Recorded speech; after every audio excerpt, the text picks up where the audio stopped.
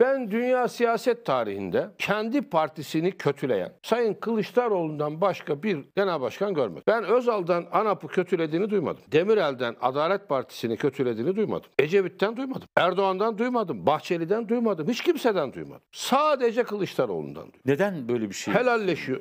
Çünkü genetik kodlarını bilmiyor partisinin. O kültürle yetişmemiş. O kültürün adamı değil. Yabancı o kültüre. Bir gün helalleşiyor. Bir gün biz değiştik diyor. Bir gün hakkınızı helal edin diyor. CHP'nin geçmişini bugünkü AKP'ye benzetiyor. Böyle bir şey olabilir? Ben CHP'den ayrılmama rağmen CHP'nin köklerini korumaya çalışıyorum. Ona sahip çıkmaya çalışıyorum. Atatürk'e, İnönü'ye sahip çıkmaya çalışıyorum.